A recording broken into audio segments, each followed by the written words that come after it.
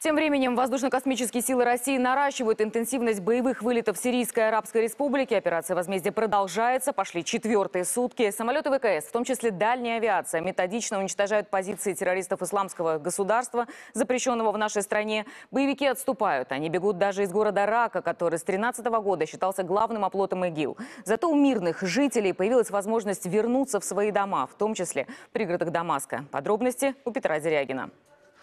Они возвращаются в свои дома. Больше семи с половиной тысяч семей, это 50 тысяч жителей, вновь прибыли в пригороды Дамаска. Официальная церемония в честь этого возвращения людей больше похожа на народный праздник. Тем временем, по многочисленным свидетельствам местных жителей, главари запрещенного в России ИГИЛ, напротив, поспешно бегут из Раки. Операция «Возмездие» продолжает набирать силу. За последние сутки порядка 130 вылетов наших самолетов. Местные жители наблюдали, как ведущие лидеры и командир исламского государства в четверг покидали сирийский город Рака после того, как группировка понесла тяжелые потери под ударами авиации России, крылатых ракет и военно-морского флота. Разведывательные источники подтвердили сообщения граждан о том, что лидеры боевиков бегут из так называемой столицы исламского государства после того, как сотни ее боевиков бежали из города в среду. Сегодняшнее состояние банд формирования исламского государства всего после трех дней операции «Возмездие» вполне можно описать одним словом – паника. Это подтверждает многочисленные разведданные. В результате понесенных потерь полностью нарушено управление бандформированиями, действующими в провинции Хомс. Нами зафиксированы случаи отказа от выполнения поставленных задач. Так, боевики полевого командира Абу Масаба Ассури из состава группировки Джибгата Нусра не выполнили задачи по уничтожению подразделений вооруженных сил Сирии в районе населенного пункта Дер-Ханна. А полевой командир с позывным Абу Хусан нарушил приказ руководства и отказался выдвинуться со своей группой в район населенного пункта Тельбиса провинции Хомс.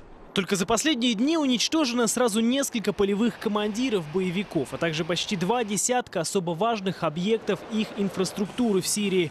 Потери исламского государства колоссальны. 16 крылатыми ракетами воздушного базирования большой дальности уничтожено 7 особо важных объектов террористов в провинциях Алеппо и Идлиб. Дальней бомбардировочной авиации поражено 12 объектов вооруженных формирований ИГИЛ в провинциях Ракка и Дер-Иззор. А ударная авиация с аэродрома Хмеймим выполнила 100 боевых вылетов и уничтожила 190 объектов бандформирований. Среди них 58 пунктов управления, 41 склад боеприпасов, 17 опорных пунктов и оборонительных позиций и 74 района сосредоточения. В сирийском правительстве подтверждают, в регионе снова становится безопаснее. Создан комитет, который будет заниматься выплатой компенсации тем, кто решит восстановить свои дома.